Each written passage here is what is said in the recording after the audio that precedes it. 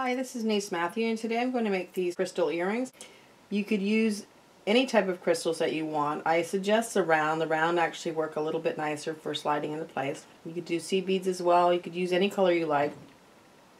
I've actually mixed gold and silver because I like the look of it. You could just use all one color if you want. They actually look really cute on. If you wanted to make a bigger hoop, you could do that as well. You just have to use a bit more wire. So you will need earring backings. You could probably steal those from another pair of earrings or you can buy them sometimes on on bead supply stores. The one thing you will want to do is after you've made your earrings, you want to make sure that you make those posts nice and stiff so that they're not going to bend when you're trying to put them in your ear and you can use wire straightening pliers to make it stiffer or you could work with a half hard wire if you prefer. So let's get started.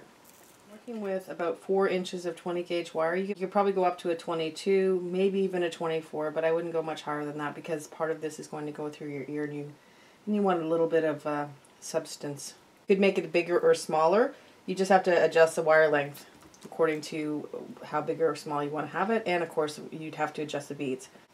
So the first thing you're going to do is just go right to the center. I've already cut a 4 inch piece of wire here and I'm just going to bend it right in the center like that. So something like that. And then just take one wire, it doesn't matter which, and just decide how long you want to have your your actual earring part and leave at least probably about half an inch to three quarter of an inch for the ear post. I'm just going to make sure that it's the same as the one I've already made. So it was about a, an inch and a quarter, so I'm just going to go an inch and a quarter again. So at this point I'm just going to take the wire and then just take it over to the other side and then just wrap it around the base wire. You can always cut the ear post at any point if you want, so you don't have to worry about that if it's a little bit longer than you want it to be. It's really more important that you have the right amount of, of space right here where you're going to put your crystals. So just wrap that around a few times, and if it's more than you want, just trim it back.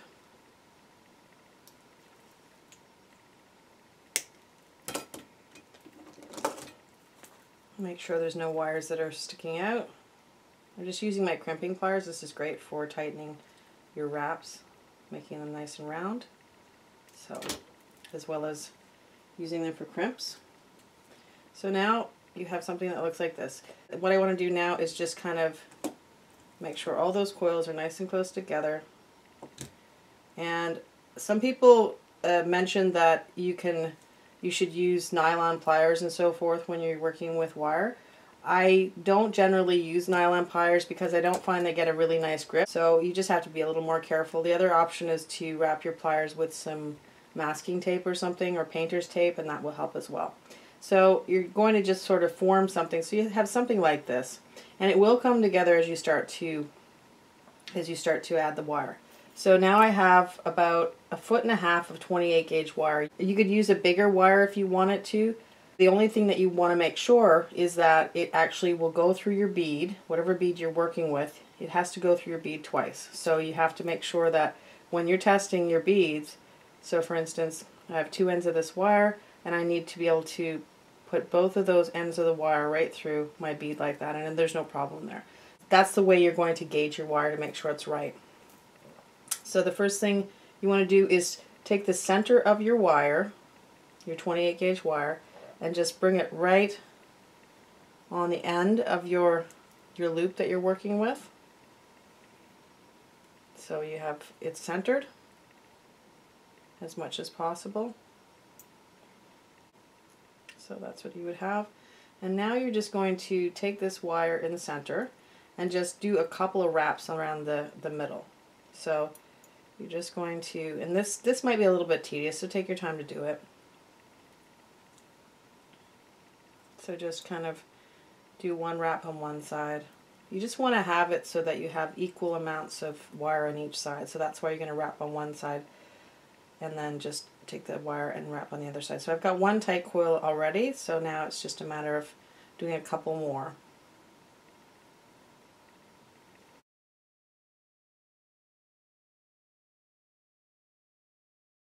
that it will it will wiggle around on your wire, but don't worry about that. That will stabilize the more you work with it. So now I'm just starting to loop those wires right around. So I've done a couple wraps.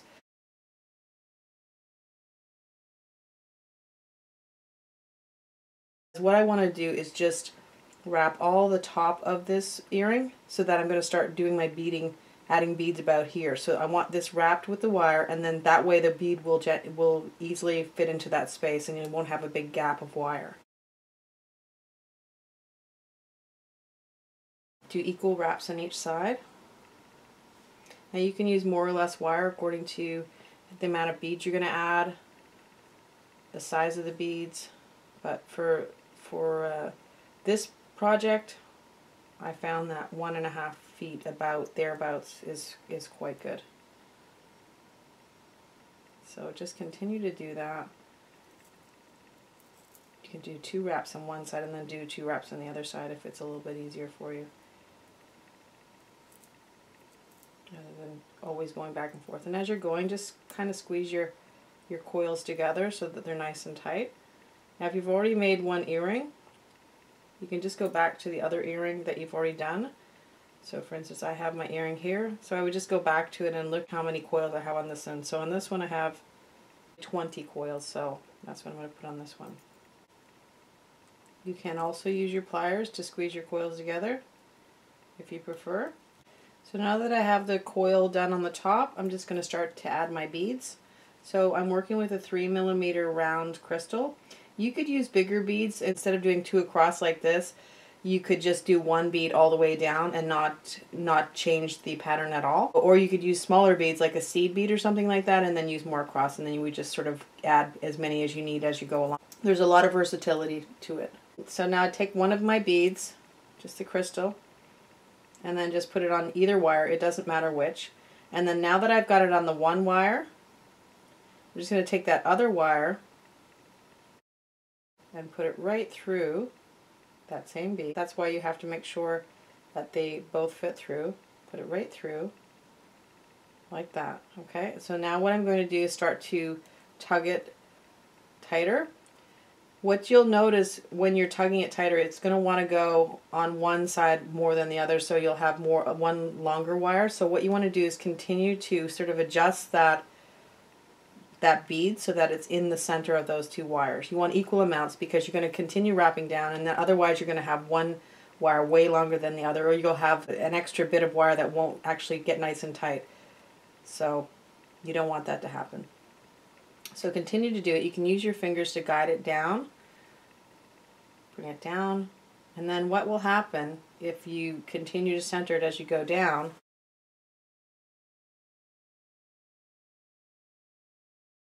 It will just nicely snap right into place like that. So that was the first one and that actually went in really nice and smooth. And now you can see the reason why you want to coil it because you don't want to try try and start adding a bead up in the top before you do the coiling because it's gonna it won't actually uh, snap into place so nicely. So that's the reason why you do the coiling. So now three wraps in between. Now you can add more wraps. You could do two, you could do three, you could do four. It's really your choice of pattern. That three made a nice job. So just three wraps on each side.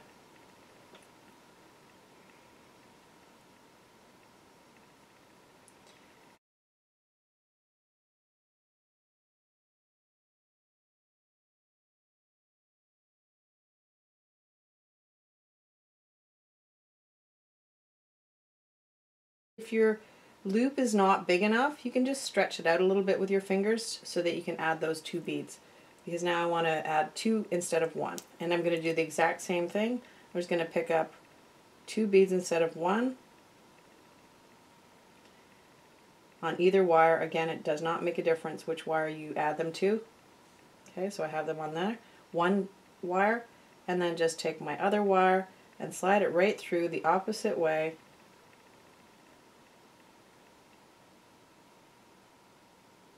like that. And then just start to guide it down. Take your time here. Make sure that it's nice and centered.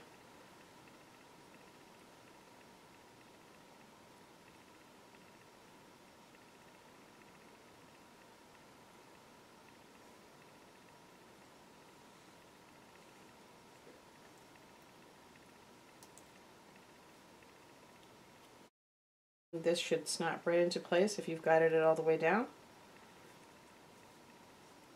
And you can give it a little bit of a tug because it's wire. there's not enough space, you can just, like I said, spread the wires a little bit. Now we're going to go back to the exact same thing. We're going to do three wraps.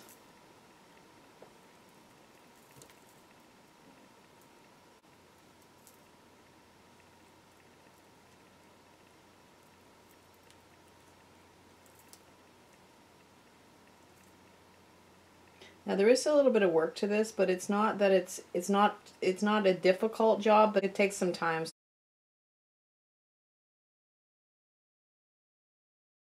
So now we're just going to do the exact same thing. We're going to pick up two more beads.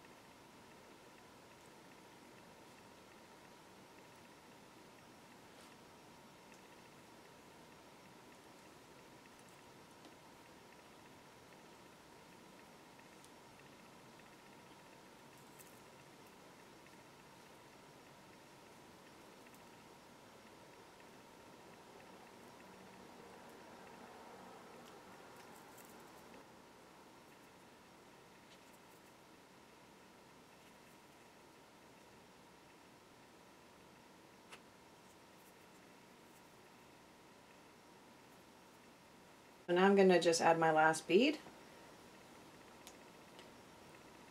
And do exactly the same thing.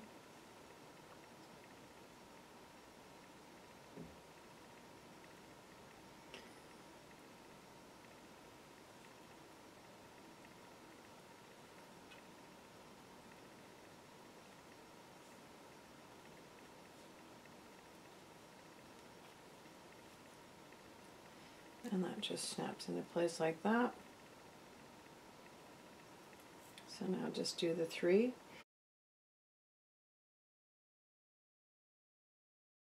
There's two ways you can finish this earring. One is just to continue and do wraps all the way down. So you could would continue coiling all the way down here on both sides. The other way I'm going to show you is where you just do the regular three like you've been doing.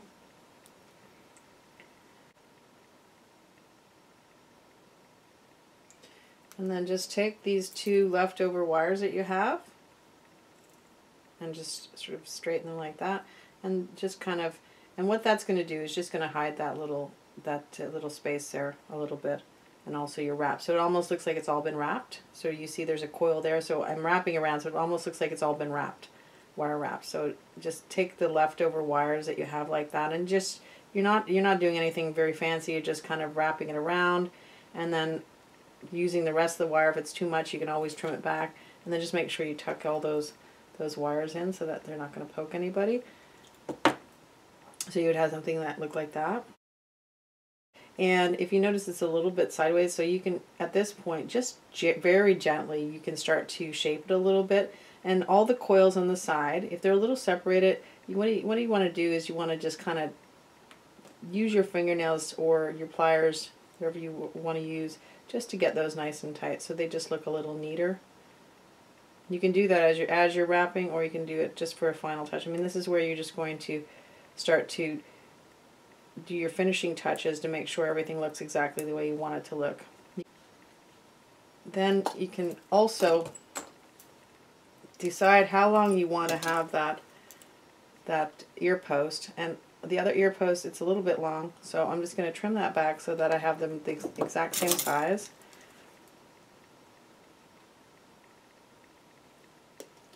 And you could do this before you bend the earring or afterwards, but you want to finish off that ear post so that it's not sharp.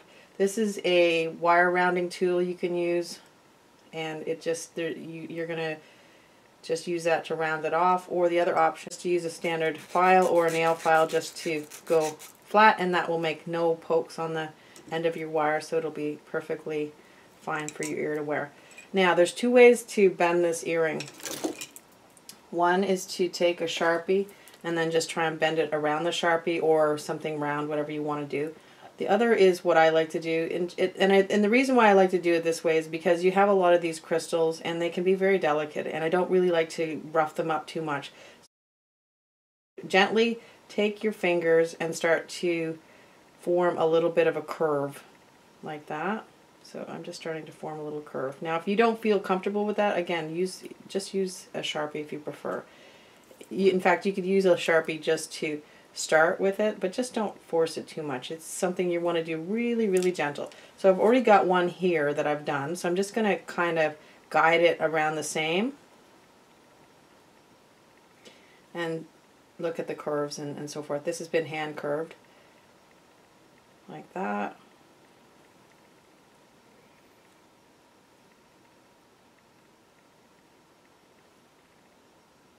All right, so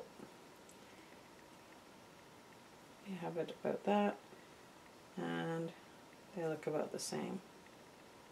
And what you can do is make sure the ear post is nice and straight so it's going to go straight into your ear.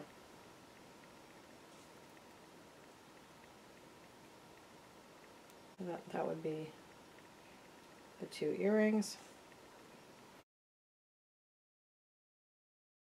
And then that would be your, your completed earring. So this completes the tutorial. Hope you liked it. If you did, please like, share, subscribe, and comment. We'll see you next time. Thanks for coming. Bye for now.